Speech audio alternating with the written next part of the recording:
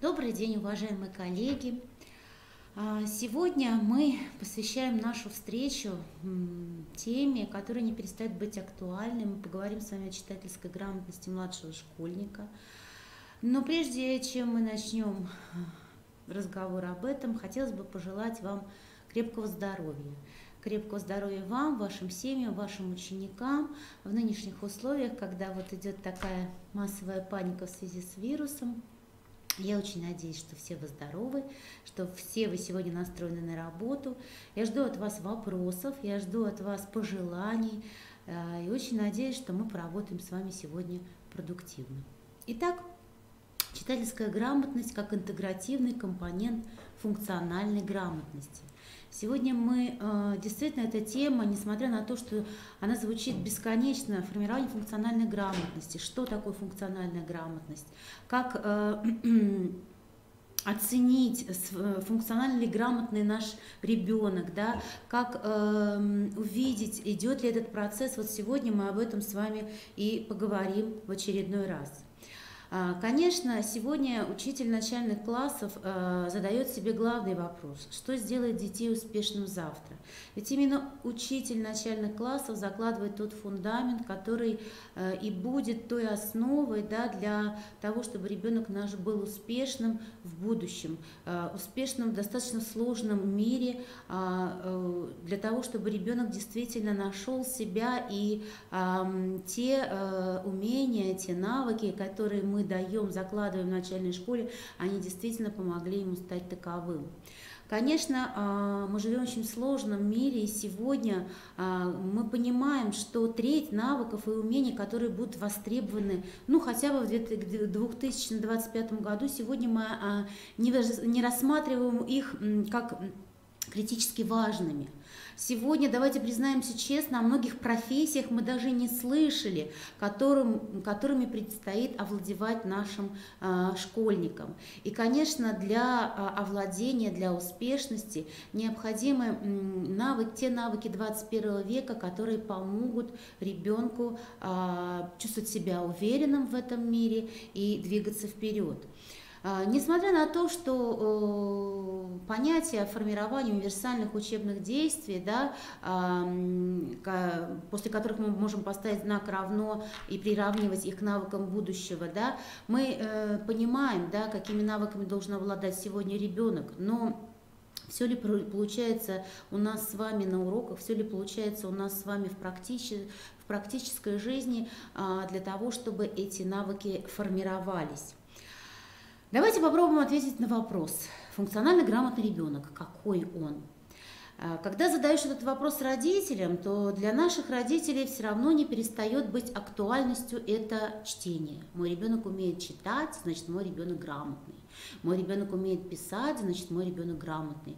Еще почему-то они очень гордятся, наши уважаемые родители, что дети умеют считать до 100, и это тоже один из критерий грамотного ребенка. Конечно, мы прекрасно понимаем, что это далеко не так что э, умение читать, да, это еще э, не является функциональной грамотностью ребенка.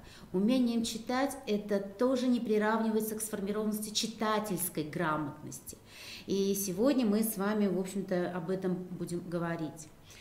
Формирование функциональной, э, понятие функциональная грамотность, э, э, этот термин был введен достаточно давно, еще в 1957 году Тогда, в те времена, функциональная грамотность понималась как совокупность умений читать и писать для использования повседневной жизни и решения житейских проблем.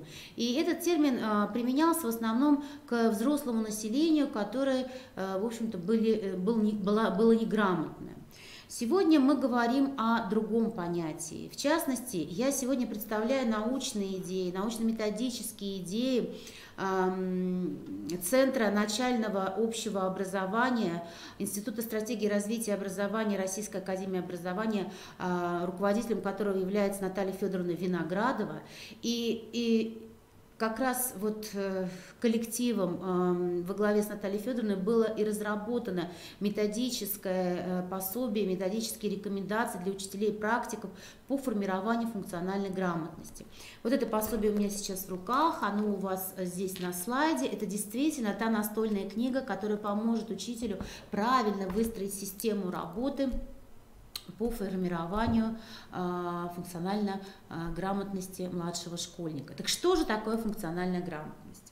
Это понятие сформулировано вот э, Натальей Федоровной Виноградовой. Это способность э, человека вступать в отношения с внешней средой и максимально быстро адаптироваться и функционировать в этой среде. Конечно, очень важно, а, как ребенок а, переносит те знания, те умения, которые он получает в школе, в повседневную жизнь. Умеет ли он применять эти знания а, как в стандартной ситуации, так и нестандартной, непредсказуемой ситуации. И если он действительно умеет ориентироваться, независимо от тех условий, от которых, в которых он оказался, и применять те знания, которые он получил, тогда мы можем говорить действительно о том, что ребенок наш взаимодействует с внешней средой, он адаптирован в ней и умеет функционировать. Составляющие функциональной грамотности, исходя из того определения, которое мы сейчас с вами обозначили, это прежде всего готовность взаимодействовать с окружающим миром это э, готовность решать учебные и житейские задачи самостоятельно, я подчеркиваю, да. Мы сейчас очень много говорим о самостоятельности нашего младшего школьника. Это строить э, отношения внутри коллектива. Мы понимаем, что с каждым годом проблема коммуникации, она действительно встает очень остро. Э, очень много детей переходят на домашнее обучение, обучение именно по причинам, э, по социальным причинам, по э, причинам которые действительно не дают э, комфортно, комфортной жизни в коллективе. Это дети, которые действительно сложно выстраивают эти отношения. Ну и, конечно, составляющая э, функциональной грамотности является рефлексивное умение. Ребенок, мы должны с вами научить ребенка объективно оценивать себя. Мы должны сформировать у него а, адекватную самооценку, а, умение видеть да, тот путь, а, решения проблем, с которыми сталкивается ребенок, коррекции тех неудач, которые происходят с ним как в обучении, так и в обычной жизни. И сегодня а, я буду, конечно, а, опираться на те инструменты, которые а, выпускает в свет российский учебник, а именно система учебно-методических комплектов начальной школы 21 века, руководителем которой как раз является Наталья Федоровна Виноградова. В эту систему как раз и заложено, заложено система упражнений, система заданий, система а, выстраивания, да, э, обучения тем навыкам, которые как раз и э, будут складываться в функциональную грамотность. Во главе угла в центре обучения, естественно, ребенок. Ребенок, а не учитель. Ребенок, которому мы научим добывать знания самостоятельно – но добыть знания это, к сожалению, мало. Нужно научить ребенка применять эти знания а, как в повседневной жизни, да, так и в каких-то ситуациях непредвиденных. Это умение оценивать уровень своего незнания. К сожалению, дети приходят в школу либо с завышенной самооценкой, либо с заниженной самооценкой. И мы понимаем, что и то, и другое достаточно большая проблема. Как научить ребенка объективно оценивать э, уровень своего незнания и что с этим делать, как даль, в дальнейшем э, выстраивать траекторию да, собственного самообразования. И, конечно, это ребенок, который готов к дальнейшему саморазвитию, да, у которого есть мотивация к этим действиям. Это очень и очень важно. Итак, добывая знания. Ведь очень важно, когда э, в учебнике выстроены э, системы упражнений, которые как раз и позволяют ребенку погрузиться в ситуацию необходимости добывать эти знания, когда не дается материал в готовом виде, когда создается проблемная ситуация, в которой оказался ребенок, и эта проблемная ситуация волей-неволей его погружает в исследовательскую деятельность, которая как раз и позволяет ему добыть тот, ту или иную информацию, сделать тот или иной вывод, вывод. Да? Ну вот мы видим э, пример из учебника русского языка Станислава Викторовича Иванова, а, где как раз э, исходя из наблюдений, да, ребенок наблюдает, как обозначаются буквами гласные звуки в корнях слова. Путем наблюдения он приходит к выводу, что оказывается безударный гласный звук А может быть записан буквой а или буквой О. Этот вывод он делает самостоятельно, не заучивая прежде всего правила, а он приходит к этому выводу сам. Добываю знания, но их нужно еще уметь применять. Да? Да, мы э, видим, как дети достаточно успешно справляются с заданиями, э, направленными на работу с информацией, в частности, работу с таблицей. Да? Они ориентируются в таблицах, они умеют читать информацию. Но это привычная для них ситуация. Эту таблицу они встречают где? На страницах учебника. И они работают с ней, и они действительно успешны. Но стоит изменить ситуацию. Они оказались уже не на один на один с учебником, они оказались а, в повседневной жизни, будь то аэропорт, будь то э, автовокзал, или, может быть, это расписание кинотеатра, где та же таблица, где нужно найти нужную информацию, да, где нужно эту информацию что? Интерпретировать, обработать, да, где нужно извлечь нужную информацию для решения дальнейшей житейской задачи. И вот здесь наши дети очень часто, а, они спотыкаются, да, они, они теряются, потому что они оказались уже в другой ситуации. Это не урок, это не учебник математики, а это совершенно другая ситуация. И вот наша задача, чтобы добиться того, чтобы был полный перенос да, того, что дети делают на уроках, то, что они делают в школе, перенос в повседневную жизнь, чтобы они там а, видели, как применить знания, как а, решить а, житейскую задачу. И раз уж мы говорим о то, э, сегодня о читательской грамотности как интегративном компоненте, позвольте мне тогда сказать о том, какие компоненты вообще включает функциональная грамотность. Конечно, это две составляющие. Предметные компоненты и интегративные компоненты. Предметные компоненты, ну, как бы все и так понятно, они а, созвучны с нашими а, предметами а, в начальной школе. Это русский язык, на котором мы формируем языковую грамотность, это литературное чтение, на которое литературная грамотность формируется, математика, математическая, и, соответственно, на уроках окружающего мира мы формируем, естественно, научную грамотность.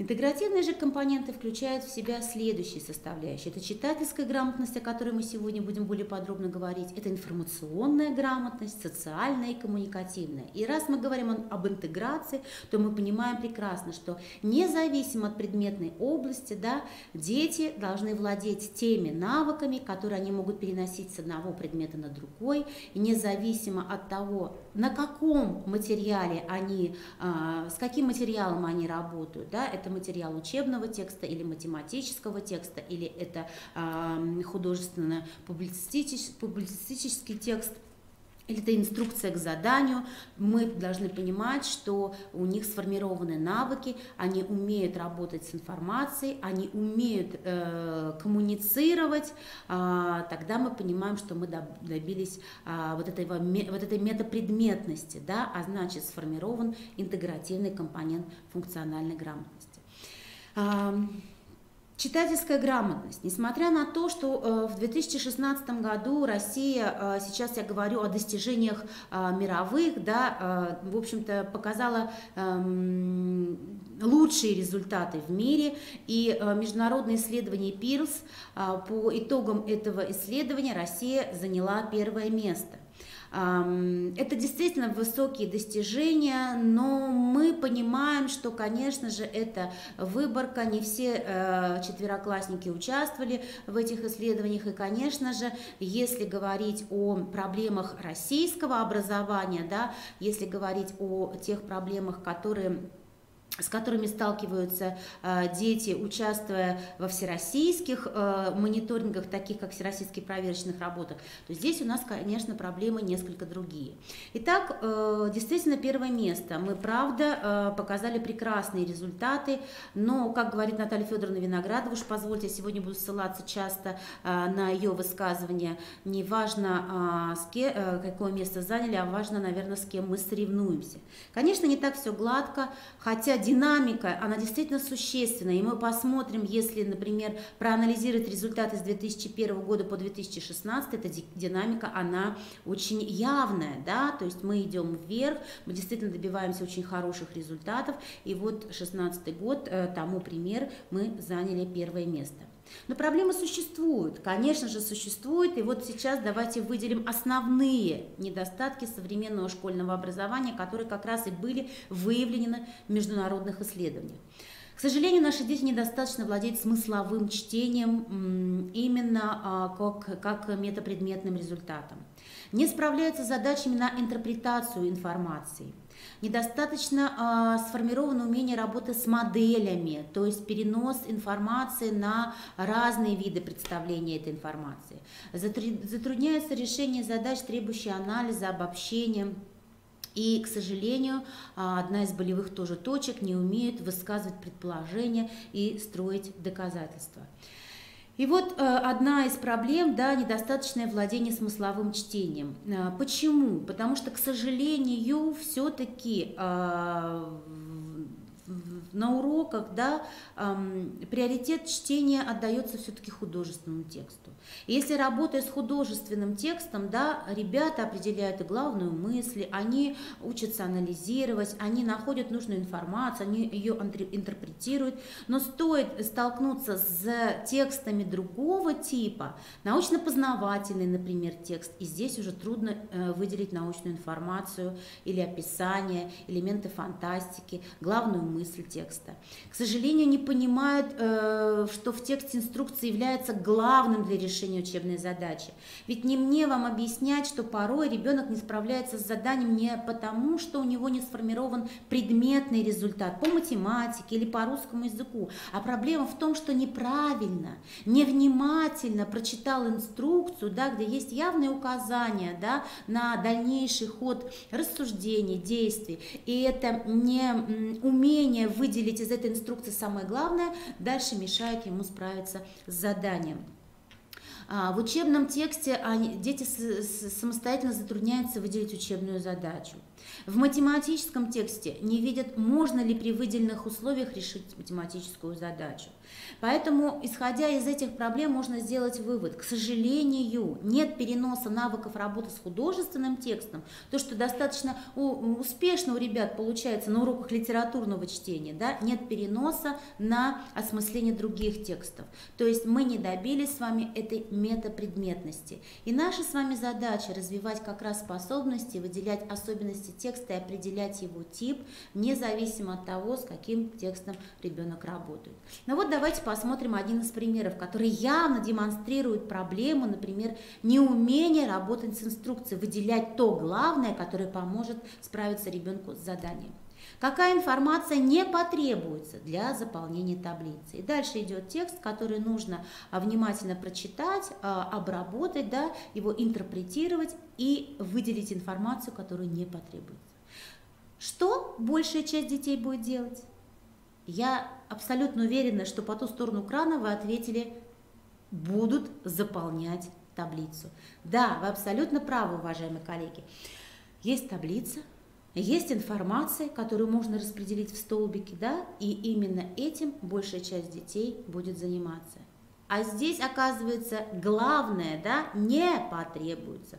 То есть найти ту информацию, которую вы не будете вписывать в таблицу. Или вот, например, неумение выделять в правилах, да, а, в формулировках правил вот этих основных понятий а, того главное, что дальше а, ребенку э, поможет.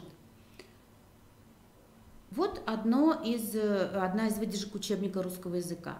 Открываем тайны языка про э, написание э, имен существительных. На конце имен существительных женского рода в единственном числе после шипящих пишется мягкий знак. Да, ребенок прочитал это правило, он знает, что после шипящих в женском роде пишется мягкий знак. И он действительно это знает, и ночью разбуди, он вам скажет это правило. Но главный акцент, на который он должен был сделать ребенок, в единственном числе.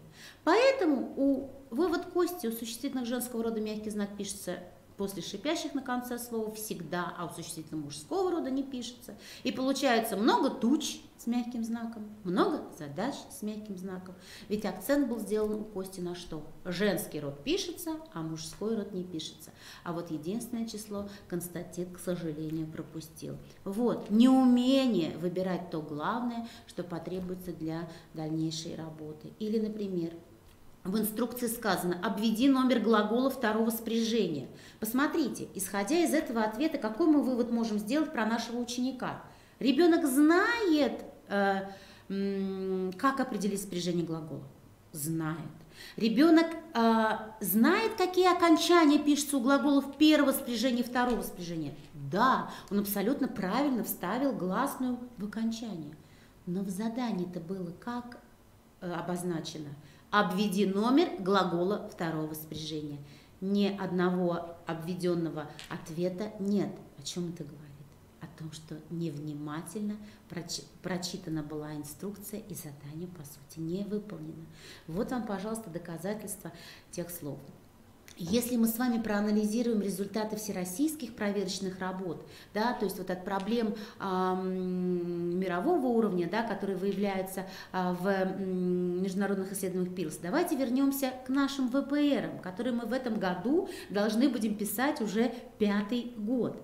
И, коллеги, я проанализировала все четыре года, начиная с 2016 года, те болевые точки, которые на всероссийском уровне высвечиваются. Несмотря на то, что наши задания практически не меняются, да, то есть, по сути дела, и структура работы, и содержание а, заданий по русскому, и по математике, по окружающему миру в целом не меняются. Проблемы остаются прежние. Если мы посмотрим по русскому языку, то болевые точки меньше всего процентов справившихся правильно с заданием – это задание номер 6, задание 15.1 и 15.2. Здесь очень много, вот как раз идет описание этих заданий, но а, в двух словах можно сказать о чем? О том, что, к сожалению, наши дети не умеют работать с текстом, выделять основную мысль и в письменном виде сформулировать эту мысль. К сожалению, наши ребята не могут переносить а, информацию эм, полученную да, в жизненную ситуацию, используя жизненный опыт, то, о чем я сегодня говорила. А вот вам, пожалуйста, как раз и функциональная грамотность. То есть в прямом смысле он может обозначить информацию, ее объяснить, а перенести ее на жизненную ситуацию уже не может. Ну, давайте посмотрим, какие конкретно задания являются сложными для детей. Вот посмотрите задание номер 6. Что хотел сказать автор читателям? Определи, запиши основную мысль текста. И вот здесь уже выразить свою мысль да, по том, что главное в тексте в письменной форме, это проблема. Задание номер 15. Подумай и напиши, в какой жизненной ситуации уместно будет употреблять выражение. Любишь кататься, люби и саночки возить. И, и здесь могут быть совершенно разные пословицы, и, к сожалению, дети спотыкаются в прямом смысле скатился с горки и будь добр, э, саночки отвези наверх, это ребенок себе представил ситуацию. А вот как ее можно перенести на другую жизненную ситуацию, интерпретировать и, пере, и применить в другой жизненной ситуации. Вот здесь мы уже этого делать не умеем. Если проанализировать болевые точки математики, то, уважаемые коллеги, из года в год проблема тянется одна и та же.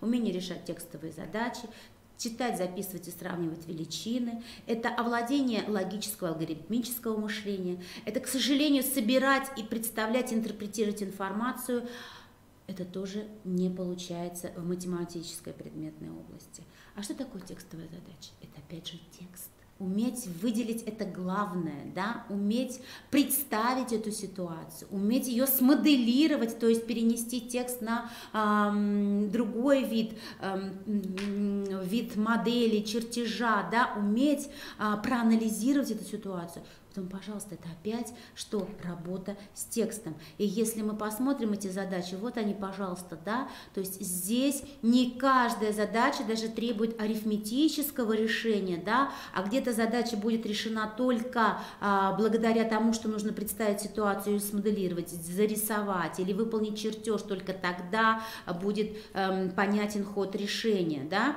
Ну вот, эм, Посмотрите, пожалуйста, а, такие задачи, как Аня пришла в магазин стройматериалов и купила 8 маленьких керамических плиток. Каждая весом по 200 грамм. И еще две большие одинаковые плитки. Сколько граммов весила каждая большая плитка, если общий вес покупки оказался равен 3 килограмма. Здесь одновременно идет работа с величинами, что является тоже одной из болевой точки, и текстовая задача. А вот посмотрите, пожалуйста, одна из, одно из заданий, да, когда нужно что уметь перенести текстовую информацию на план, уметь ориентироваться в этой информации, уметь ее анализировать, и это тоже оказалось достаточно большой проблемой. Ну и вот, пожалуйста, еще одна из задач, которая у нас тоже из года в год является самой сложной задачей, которая как раз решается через моделирующую деятельность, умение представить ситуацию, уметь ее смоделировать, зарисовать и только тогда найти ход решения задачи.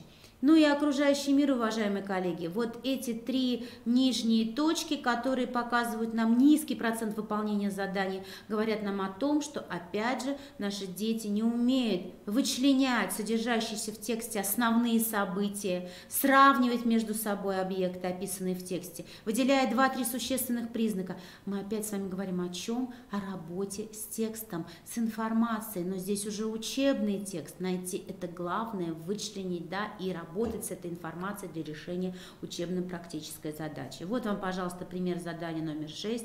И здесь непосредственно умение работать с текстом, работать с текстом поможет ребенку справиться с этим заданием. Таким образом, мы делаем с вами вывод – к сожалению, на конец четвертого класса э, болевыми точками, да, несформированными умениями является что?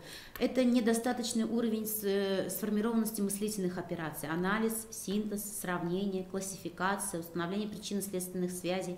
А если проанализируем три а, остальных пункта, то вывод один. К сожалению, смысловое чтение, да, не сформировано на каком? На метапредметном уровне. И главная, главная проблема – это неумение работать с текстом, это неумение работать с информацией, представленной в разном виде, будь то чертеж, модель или текст.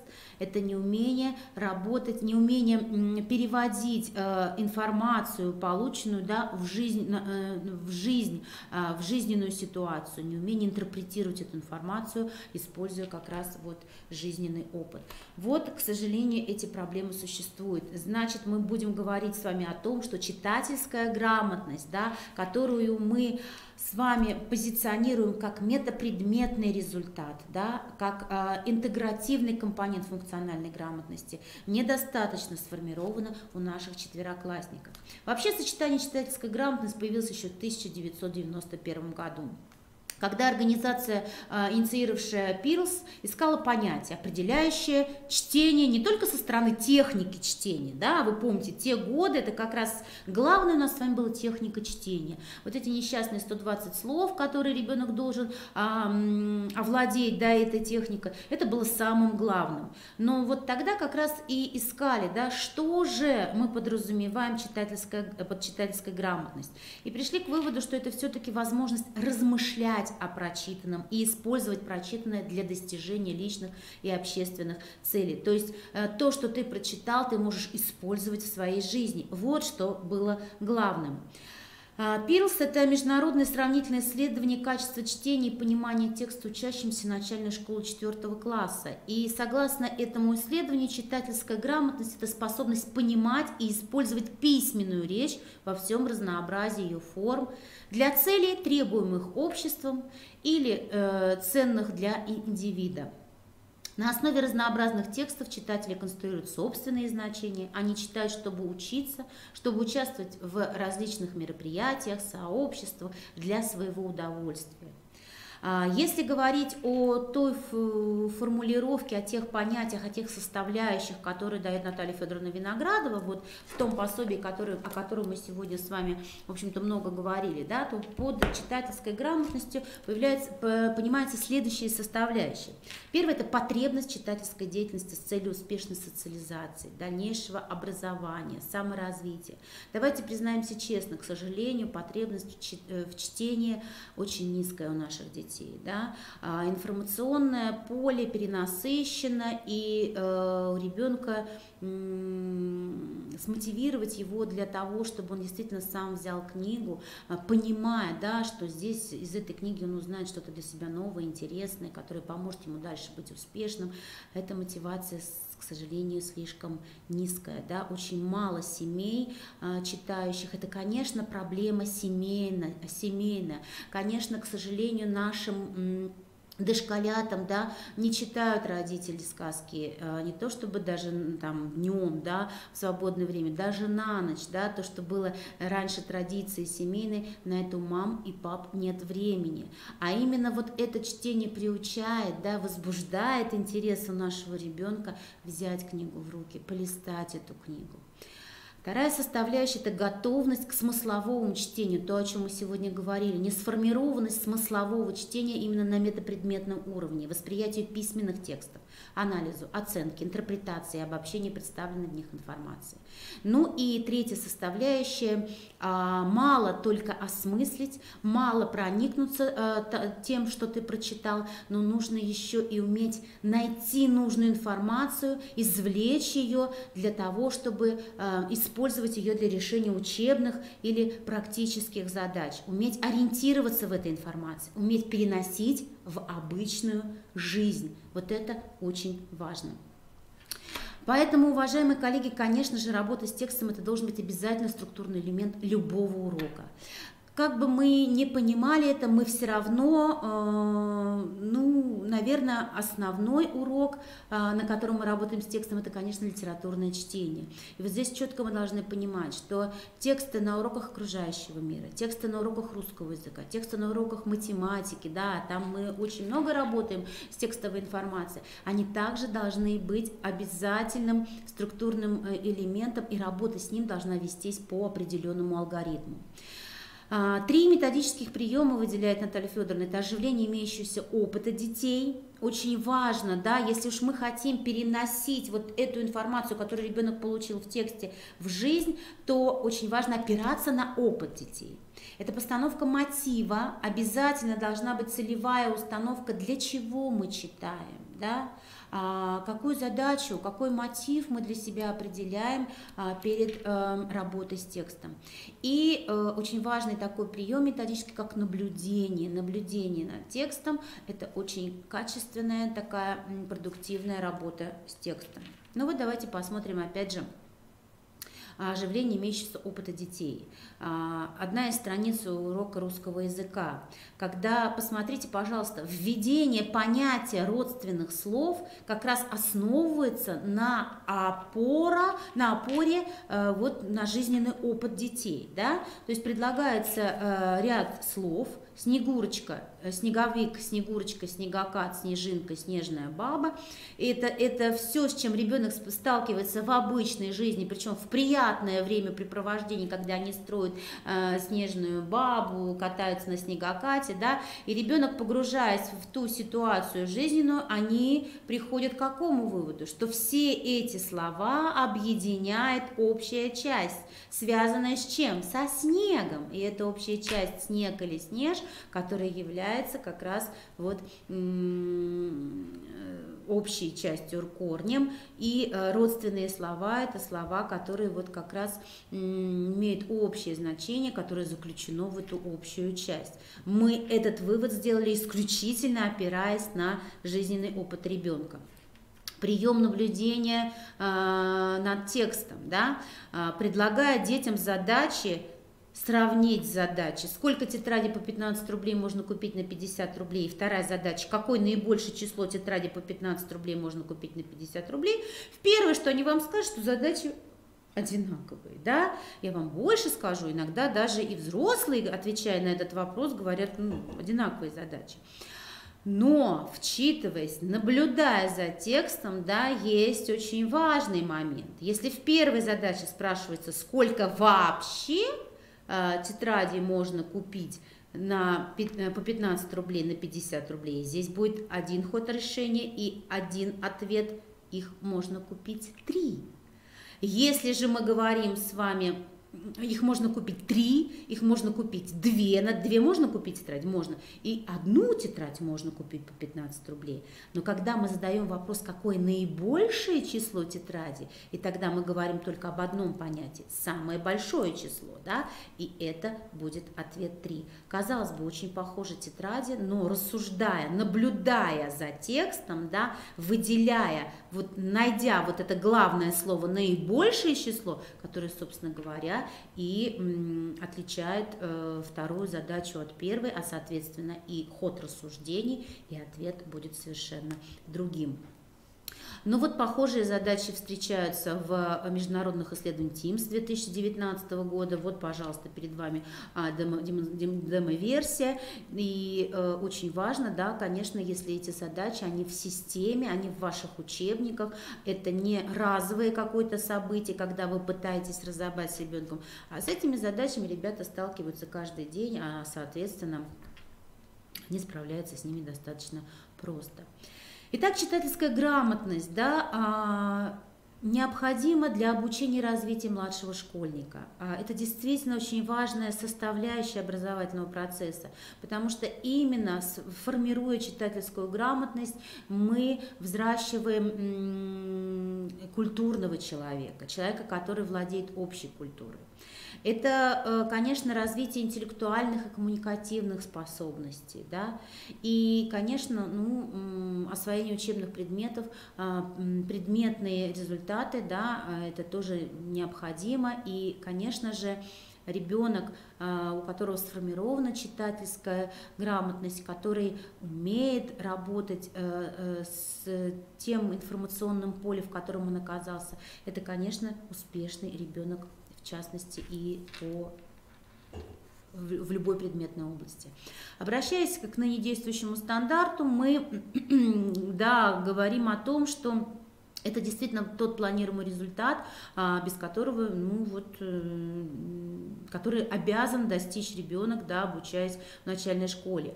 И вот пункт 11 мы видим здесь прописано владение навыком смыслового чтения текстов различных стилей и жанров в соответствии с целями и задачами. Я подчеркиваю, различных стилей и жанров. Это использование различных э, способов поиска в справочных источниках, в открытом учебном информационном пространстве, в сети интернет. Это умение собирать информацию, обрабатывать ее, анализировать. Это все планируемые результаты, прописанные в стандарте. Если говорить о предметных результатах, там мы говорили о метапредметности, и как раз именно это является болевой точкой. Мы с вами убедились это, проанализировав результаты ВПР. Если говорить о предметности, то здесь э, мы говорим о достижении необходимого для продолжения образования уровня читательской компетентности, общего речевого развития, то есть овладения техникой чтения вслух и про себя, элементарными приемами интерпретации, анализа и преобразования художественных, научно-популярных и учебных текстов с использованием элементарных литературоведческих понятий. Итак, читательская грамотность. Да, выделяем мы, мы прекрасно с вами понимаем, что, конечно же, осмысление текста, добиться смыслового чтения невозможно без чего? Без техники чтения. Если ребенок не овладел самим процессом чтения. Поэтому это техника чтения, это смысловое чтение и использование информации, полученной из текста. Что же такое техника чтения? Что мы сейчас а, под этим понятием подразумеваем? Это установление связи слова видимого и произносимого Слитное произнесение слогов, слов, предложений, соблюдение интенционных правил чтения, ударения, паузы и другие. А, и, конечно, мы понимаем, что мы отошли с вами сейчас от этих норм, естественно, да, но мы понимаем, что овладением техникой чтения – это обязательный процесс, без этого, конечно, никуда. Вторая составляющая – смысловое чтение. В первую очередь это понимание текста прочитанного самостоятельно, я подчеркиваю это слово. Ребенок должен соотнести цель чтения и содержание прочитанного. Поэтому, как говорит Наталья Федоровна, не может быть чтения без целевой установки. Для чего я читаю эту задачу? Да? На что я должен обратить внимание при чтении? Обязательно, да, ребенок ему поставили цель, и он соотносит то, что он читает, то содержимое, э, содержание с этой целью. Понимание, оценка главной мысли. Анализ особенности построения и языка текста с учетом его типа. Поэтому очень важно научить ребенка определять тип текста, да, для того, чтобы в дальнейшем работать с ним, исходя уже из этой типологии. Дифференциация главной и второстепенной информации. Ведь очень часто дети, да, когда мы ставим задачу там пересказ текста, воспроизведение текста. Они э, выпячивают ту информацию, которая не является главной, да, существенной. О чем это говорит? О том, что ребенок не дифференцирует, что же является основным, а что является второстепенным. А, это рефлексивный анализ, предполагающий сравнение своей точки зрения с мнением других читателей. То есть очень важно, когда вы на содержании какого-то текста а, устраиваете учебный диалог, когда у детей есть возможность высказать свое мнение. И оно должно быть своим, собственным мнением. Оно может отличаться от других. Да? Это очень важно, когда у ребенка есть право на свое собственное мнение, и его можно сравнить а, с другой точкой зрения. Ну и э, мы, конечно, понимаем, что очень важный этап, да, э, это восприятие текста. Восприятие текста, которое э, как раз и должно быть, должно сопровождаться чем? Первую очередь установкой на это чтение или э, слушание текста, да, вот эта мотивация, для чего я читаю. Эту установку он должен удержать до конца слушания или чтения и соотнести это содержание, то, что он читает или слушает. И, конечно, проявление эмоциональной реакции, адекватной содержанию воспринятого текста. А, поэтому, когда вы открываете э, страницы наших учебников, то э, авторы, в общем-то, нам уже очень сильно помогли. Да? То есть э, разговор перед чтением или вот эти установки перед чтением. Читая сказку, обрати внимание на ее героев. И ребенок уже концентрирует свое внимание на что? Именно на главных героев. Да? И он уже, вот эта целевая установка у него должна удержаться до конца чтения. Читая стихотворение, обрати внимание, как автор описывает дружбу мальчиков, ребенок концентрирует свое внимание на что? Именно на вот этом понятии в тексте. Читая рассказ, обрати внимание, с чего начинается история с яблоками, начало, ведь именно там заложена да, та главная а, информация, которую дальше ребенок будет использовать для решения других задач. А, в учебнике «Литературное чтение» Натальи Федоровны Виноградовой а, прекрасная рубрика «Разговор перед чтением», которая как раз и является той мотивацией чтения, да, для чего я буду читать, что я узнаю, да, а с, с чем я буду дальше работать. Это здорово, когда это есть в учебнике, когда учителю ничего, не надо ничего самому изобретать. Почему я говорю здорово? Потому что действительно мы иногда, педагоги, сами вводим детей в, ну, в ненужную, в неправильную сторону. О чем я говорю? О том, вот о тех установках, которые мы даем нашим детям. Вот э, пример. Э, это действительно история из жизни, из практики одного из учителя. Эту историю я услышала от Натальи Федоровны Виноградовой, пересказываю. А, на уроке изучалась э, басня Ивана Андреевича Крылова «Лебедь, рак и щука». И, э, конечно, учитель очень волновался, урок был открытый, но, тем не менее, перед чтением, все как положено, да, по методике, была установка на восприятие этого текста. Установка была следующая – ну, возможно, я а, не процитирую, но смысл такой. Ребята, сегодня вы познакомитесь с новым произведением Ивана Андреевича Крылова «Лебедь, рак и щука». А, просьба такая, читая произведение, прислушайтесь к себе. Какие чувства вы испытываете, знакомясь с этим произведением? Дети прочитали басню, учитель задает вопрос, ну что, ребята, что же вы почувствовали? В ответ тишина.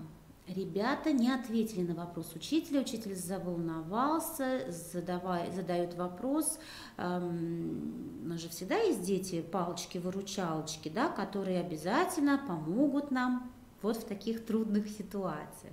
И учитель обращается уже к, э, к девочке, уж не помню, там Настя, э, Полина, как звали девочку, и ты ничего не почувствовала. На что девочка встала, э, махнула рукой и сказала, что да жалко мне их всех. Учительница выдохнула, урок пошел дальше. Да? Анализируя эту ситуацию, учителю задает вопрос, что же пошло не так, почему дети не стали делиться своими чувствами. Коллеги, я вам тоже задаю этот вопрос, почему не стали? И наверняка, э, если бы мы сейчас с вами общались бы не в онлайн-режиме, я бы услышала от вас ответ. Ответ какой? О том, что какой жанр, э, с каким жанром знакомились дети, это была басня. Причем здесь чувства, о которых хотела услышать учительница? Конечно, нет. Это жанр, который не предполагает да, какую-то вот эту чувственную сторону. Это жанр, который направлен на что? Это высмеивание пороков, да, это, это мораль, это тот урок, который дети должны извлечь из этой ситуации. Это, как я уже говорила, да, это ирония, а, которая предполагает высмеивание пороков человека человеческих. Конечно, а, установка была неверная, поэтому ребята, в общем-то, и не поделились своими чувствами. И здесь, конечно, должна была быть другая установка. Ну, например, да, почему именно этих животных выбрал автор? Какова мораль э, э, этой басни или какой урок мы извлекаем? Была ли э, подобная ситуация, похожая ситуация у вас в вашей жизни? Да? То есть вот вам перенос, перенос ситуации в жизненную, как ребенок оценивает оценит эту ситуацию, его эм, оценочное суждение мы здесь формируем. Поэтому, уважаемые коллеги, эм, иногда э, вот эту дежурную установку про чувства, да, мы наших детей уводим совсем в другую сторону. Как я уже сказала, уважаемые коллеги, э, эту установку, они, а, они должны проявить эмоциональную реакцию, адекватную содержанию воспринятого текста. Поэтому эмоциональной реакции по поводу чувств не было, потому что эта э, установка не была адекватна содержанию э, текста, который они воспринимали. Э, в учебниках Натальи Федоровны Виноградовой прекрасная инструмент, прекрасный инструмент, такой как смут-титул, который является средством установление перспектив изучения учебного материала, то есть той мотивации, да, когда ребенок понимает, с чем он будет работать.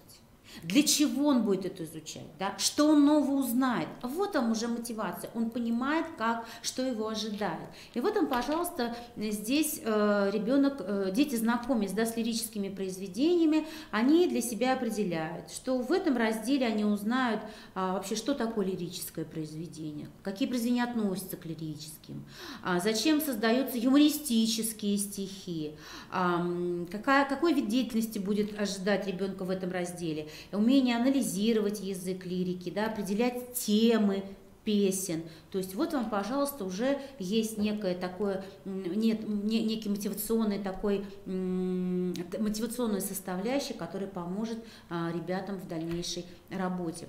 Обращаю ваше внимание на то, что одним из составляющих да, смыслового чтения это умение определения типа текста, вида текста. Да? И вот перед вами а, сейчас обложка тетради, которая называется «Смысловое чтение», тетрадь для четвероклассников, которые могут использовать учителя независимо от того, по какому комплекту вы работаете. И вот здесь очень много заданий как раз на а, определение Эм, вида текста. Да? В частности, вот пример одного из заданий. Дети читают текст про ежика, а дальше определяют художественный, познавательный и сказочный текст. Для того, чтобы определить вид текста, они должны вспомнить характеристику каждого. Да? Какой текст называется художественный, какой познавательный, какой сказочный. Применить эти, характер... эти характеристики согласно данному тексту, с которым они работали, и определить, какой характеристике подходит данный текст.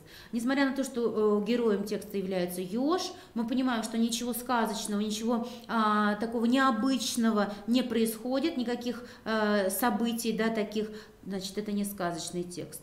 Мы не видим здесь э, развития событий, да, повествования, значит, это тоже не художественный текст, а вот то, что мы узнаем, какую-то информацию, пусть даже она является неким таким мифом, но он является познавательным. А, задание, например, вот на определение типы текста повествования, рассуждения, описания. Опять, как ребенок определит? Прочитав текст, да, он э, вспомнит характеристики каждого вида, а дальше уже э, применит, да, при, будет применять э, согласно того, что он прочитал, проанализировав и э, дел, сделав вывод, что этот текст является описанием согласно той характеристике, которую он дал.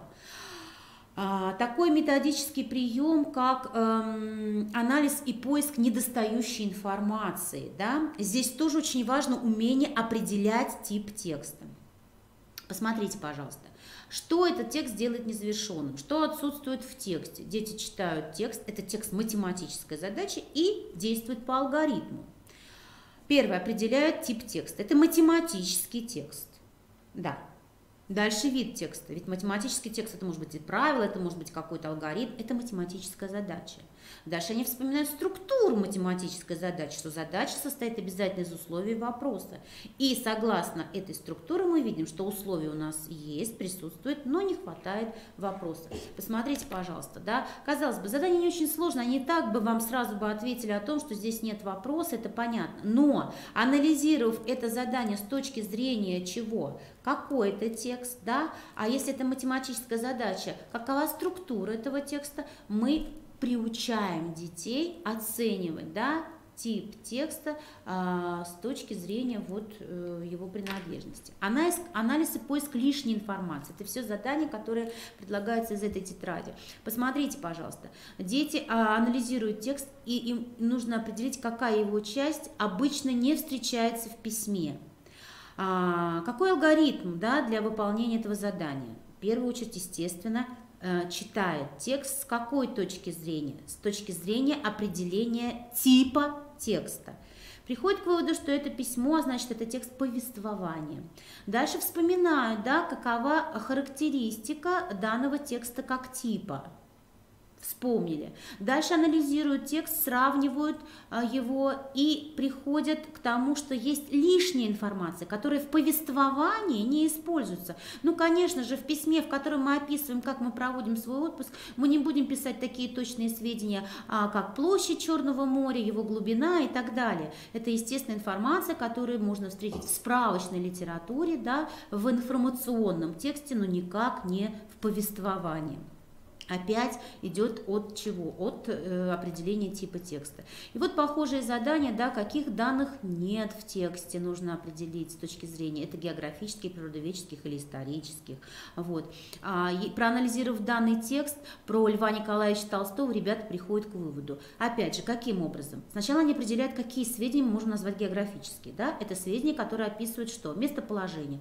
Здесь есть эта информация. Природоведческие, когда описываются картины природы или да, Та местность, о которой идет речь. А, и исторически это то, что связано с биографией э, Льва Николаевича Толстого. Дети приходят к выводу, да, про исторические, эм, исторические сведения присутствуют, а вот описание да, той местности с точки зрения а, природы их нет, поэтому именно этой информации и не хватает. А дальше делают выводы. Соответственно, если присутствуют у нас географические сведения, если присутствуют исторические сведения, то их можно использовать для написания биографического очерка, но никак не стихотворения или фантастического рассказа.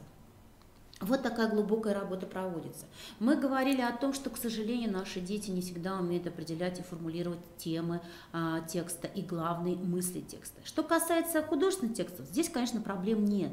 И, как я уже говорила, что а, все-таки главная работа ведется на уроках литературного чтения. Здесь различные приемы вы используете, да, и какая пословица выражает главную мысль, это частенько встречается в разных учебниках, да. И, по сути дела, здесь дети не а, испытывают определенные трудности. Но если мы говорим с вами о научном тексте, да, то вот здесь уже все гораздо сложнее. Почему проблемы а, с заданиями по окружающему миру? Потому что там дети работают с научным текстом, с учебным текстом. И здесь выделить уже главную мысль – это очень сложно. Тема научного текста – это основное утверждение, которое доказывается. А главная мысль, она чаще всего либо совпадает с темой, либо является ее частью. Ну вот давайте посмотрим окружающий мир. Текст «Звери или млекопитающие».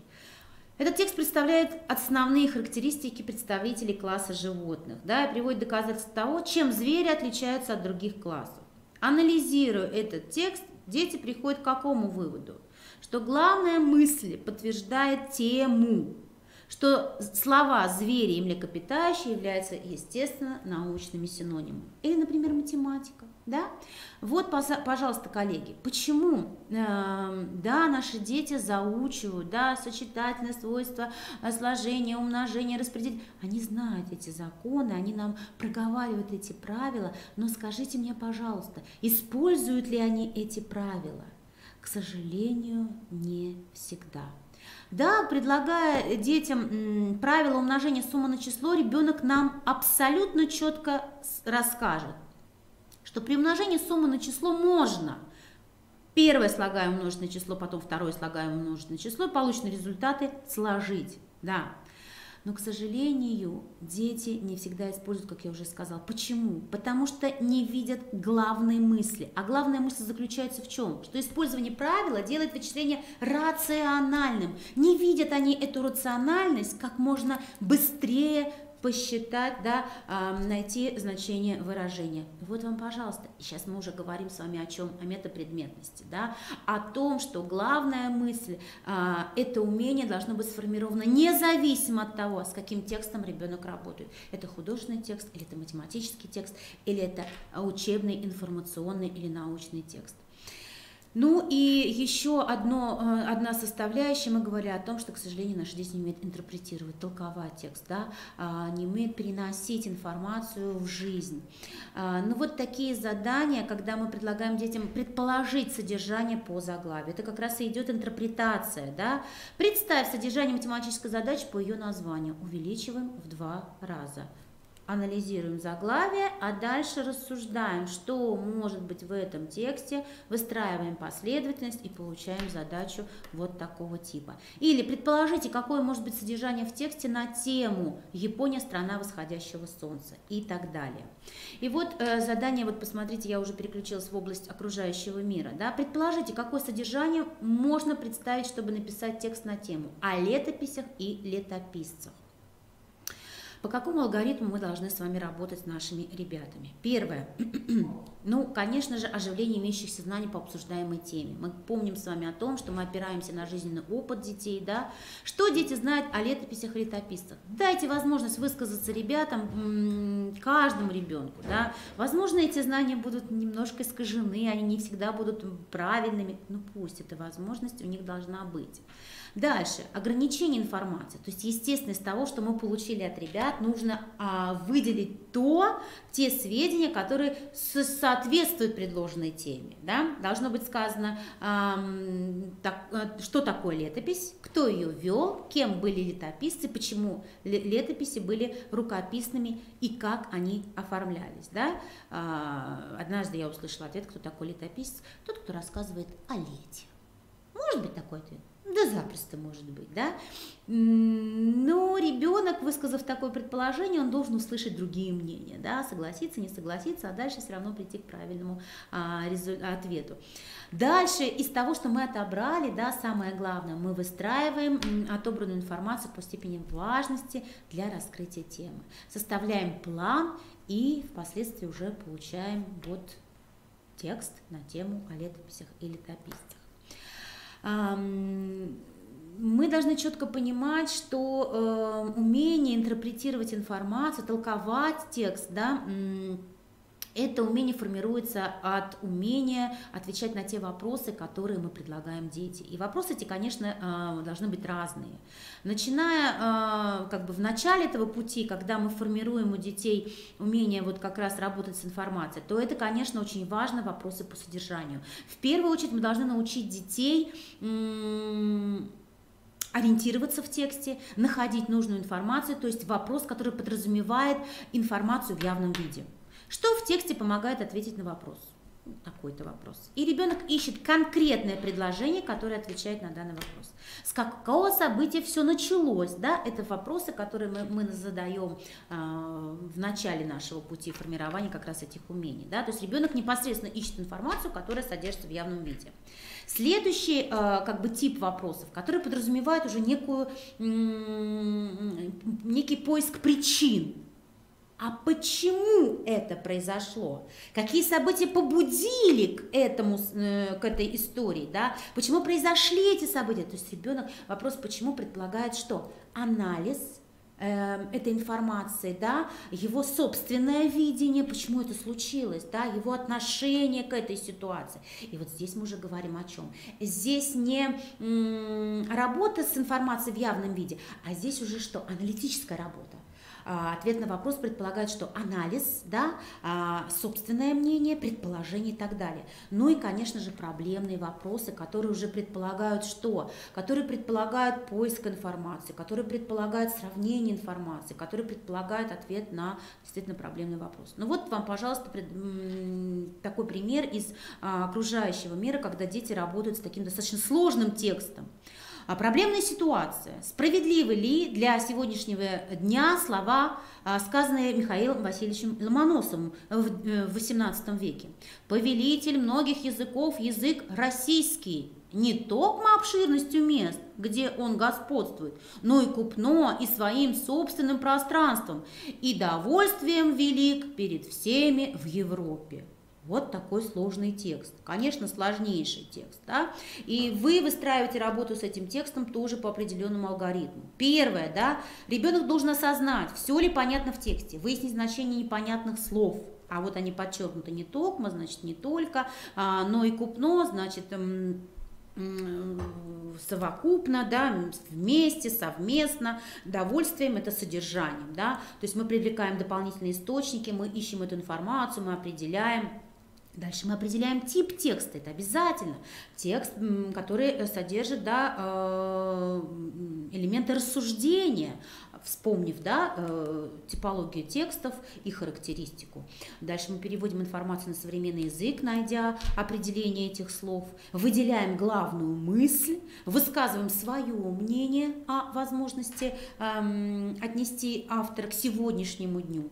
И после этого мы с вами доказываем, что вот вам, пожалуйста, дальше у нас уже текст идет из Конституции Российской Федерации о государственном языке, что действительно государственным языком Российской Федерации на всей ее территории является русский язык. Вот вам, пожалуйста, э, сейчас я, конечно, э, осуществила этот алгоритм буквально за несколько секунд, да, но это достаточно глубокая работа, аналитическая работа со сложным текстом. Но здесь уже мы говорим о наших старшеньких, о четвероклассниках, да, у которых уже на, данный, на данном этапе обучения сформированы те умения, о которых мы говорили. И поэтому, уважаемые коллеги, конечно, мы должны понимать, сформированы ли они или еще нет. Как идет процесс формирования этих умений? Какие объекты контроля мы выносим а, для того, чтобы понять? идет ли да, а, этот процесс, на каком он этапе, на, чем, на, на что нужно обратить внимание. Три группы объекта контроля. Первая группа, да, которая подразумевает что? Научили мы наших ли детей читать и понимать тексты, включая учебные, в том числе. Сегодня мы как раз говорили о разных типах текстов. Что именно? Воспроизводить и использовать информацию, представленную в них в явном виде. То есть вопросы, задания, которые к тексту предлагаются, подразумевают что? Поиск информации в самом тексте в явном виде. Вторая группа умений – это умение обобщать и интерпретировать информацию, проверять и формулировать на ее основе утверждения, выводы, работать с данными, представленными в разном форме. Что это значит? Это когда мы предполагаем уже поиск причин, это когда аналитическая работа, и ребенок сам делает собственный вывод, доказывает свое предположение, например, примерами из текста. И третья группа умений, а, то, о чем мы говорили, да, которая является составляющей читательской грамотности, это как раз когда ребенок а, использует информацию, которую он получил из текста для решения учебно-познавательных и учебно-практических задач. Возможно, применив дополнительные умения, да, там, вычислительные навыки, если мы говорим об области математики, или умение работать со справочной литературой, если ему нужно найти какое-то объяснение э, слова. Это уже решение учебно-познавательных, учебно-практических задач и, возможно, житейских задач. И вот здесь, уважаемые коллеги, наши авторы да, разработали а, такой инструментарий работы с текстом и информацией со второго по четвертый класс. Конечно, мы понимаем, что в первом классе мы не будем говорить о том, что мы отслеживаем, да, насколько сформирован рановато еще. А вот начиная со второго класса, да, мы можем уже этот процесс запустить и оценивать, да, как идет формирование вот этих умений, о которых мы сегодня с вами и говорили. Вот эти три обложечки э, тетради перед вами. Еще раз повторяю, что это инструментарий абсолютно универсальный, да, независимо от того, что я сегодня все-таки акцент делала на систему учебно-методических комплектов начальной школы 21 века, как, э, собственно, инструмент формирования э, функциональной грамотности, в частности, мы говорили сегодня о читательской грамотности, то это абсолютно универсальное пособие, которое вы можете использовать не независимо от того, по какому комплекту вы работаете. Ну вот пример, да, давайте посмотрим сравнение второй класс, да, посмотрите, какой текст предлагается. Информационный текст, то, что вызывает определенные сложности наших ребят, у наших ребят, да. Уголок дедушки Дурова. Ребята получают информацию об этом театре, а, информация достаточно интересная, но и в то же время сложная. А дальше предлагается задание – Ответь на вопросы и выполни задание. Запиши, когда был создан уголок. Ребенок, ребенок возвращается к тексту, и этот вопрос предполагает что? Поиск информации в явном виде, то есть первая группа умений. Да, эта информация присутствует, ему нужно только найти его и записать ответ. А, задание же подобное запиши, в чем состоит особенность метода дрессировки Дурова. И этот метод очень подробно описывается, и также ребенок берет информацию в явном виде. А вот если дальше мы будем двигаться и прочитаем уже текст, посмотрите, об аттракционе с участием живых мышей, посмотрите, здесь уже такая информация идет, продолжительность аттракциона, рекомендуемый возраст, прям вот информационный в чистом виде текст, да, стоимость билета, ряды и места э, в билетах не указываются, то есть прям четкая информация об аттракционе. И вот посмотрите, какие задания предлагаются. Например, Алиса считает, что в аттракционе однажды на мышиной планете артистами являются только мыши. Согласишься ли ты с ней? Да или нет, ребенок выбирает. А вот дальше он доказать должен свой, свой ответ. И здесь уже что? Идет аналитическая работа, выводы собственные, а значит это уже вторая группа умений, когда на основе того, что ребенок прочитал, он выражает свое собственное отношение, вывод да, к этой информации и вот приводит доказательства. А вот если мы посмотрим, например, на задание номер 9, уважаемые коллеги, верно ли что? Продолжительность аттракциона увеличилась? Объясни свой ответ и ответ. К чему должен вернуться ребенок? Он должен вернуться вот к этой информации, да, а, дальше эм, читать, вот посмотрите, правила посещения аттракциона, и вот здесь он должен доказать, выполняя некие вычисления. А значит, ребенок решает учебно-познавательную задачу. Да? То есть он выполняет некие вычисления, таким образом доказывая а, свой ответ, что продолжительность либо увеличилось, либо нет, но он выполняет практическую задачу. Это уже третья группа. Или вот, например, задание номер 10, тоже посмотрите. Здесь уже умение что? Работать с информацией, представленной в каком? Совершенно в другом виде, в виде плана, читать эту информацию, да, то есть это уже не работа с текстом, а тоже решать учебно-познавательную задачу. Это третья группа умений. Ну и если мы заглянем в тетрадь для четвертого класса и сравним текст, естественно, текст гораздо сложнее. Вы видите, что здесь, посмотрите, тоже текст информационный, который содержит и таблицу, да, и различные цифровые, э, числовые, простите, данные. И задания, которые предлагают авторы этому тексту, посмотрите, вот они перед вами, три группы этих умений. Задание номер два простите, Задание номер два. Перечисли признаки зрелости грейпфрута. И если вы сейчас эм, прочитали бы этот текст, то они в явном виде присутствуют. Нужно просто их найти. А вот задание номер один как раз ко второй группе умений. Когда нужно что? представить информацию, с которой ребенок работал в тексте, уже в другом виде, в виде рисунка, проанализировать, представив и зарисовать. А вот задание номер три – это как раз третья группа, когда ребенок сочиняет собственный текст со словами Нарингин и Горич, то есть решает учебно-познавательную задачу. Трудности есть, конечно, но если эти, это, эту работу вести, коллеги, сначала, да, эм, не в хаотичном, в таком виде, да, а систематично, то эти трудности можно избежать. И дети к концу четвертого класса, уважаемые коллеги, конечно же, а, выйдут да, на те же ВПРы уже сформированными умениями а, работы с текстом и информацией. Есть еще а, инструментарий, по, позволяющий оценить читательскую грамотность. Это тетради из серии РАО, да, Российская Академия Образования, наших же авторов «Литературное чтение», 2, 3, 4 класс. И вот здесь эти пособия можно как раз использовать как тренировочные задания, хотя они позиционируются как итоговые, но работать их достаточно много, их можно использовать как вот а, текущие работы, как раз которые помогут вам выявить эти проблемы и, э, собственно говоря, дальше устранить. Ну, об этой тетради мы с вами уже говорили. И, конечно же, коллеги, эта работа продолжается во внеурочной деятельности. А, я имею в виду работа с текстом, работа с информацией.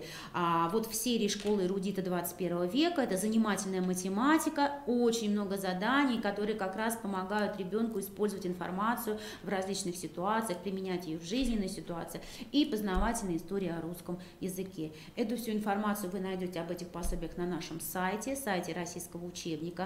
Вот этот слайд обновленный слайд э, с некими координатами, а именно да, методическая поддержка, телефон горячей линии, который вы можете, по которому вы можете задать любой вопрос, я надеюсь, получите любой ответ, ну, который поможет вам разобраться с какими-то трудностями. Да?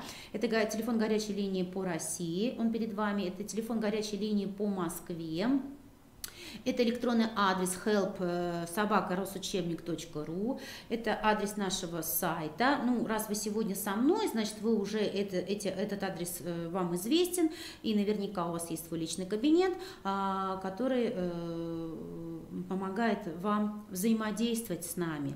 Ну и, соответственно, да, возможности покупки. А, отдел продаж, в который вы можете позвонить или написать и задать определенные вопросы. Ну и мой личный личный адрес и мой личный телефон. Я думаю, что вы уже прочитали. Э, зовут меня Оксана Владимировна Зубаирова. Я как раз занимаюсь именно а, дошкольным и начальным образованием, и, пожалуйста, вот вы можете обращаться с любой просьбой. Я пытаюсь э, переключиться на наш чат, а, вот вижу очень много слов «спасибо», «спасибо за интересную подборку материалов», а, не вижу вопросов, полезной информации. Я очень рада, коллеги, что я оказалась вам полезна. Дмитрий, мне кажется, вопросов нет, да, кроме как вашей, вашей благодарности.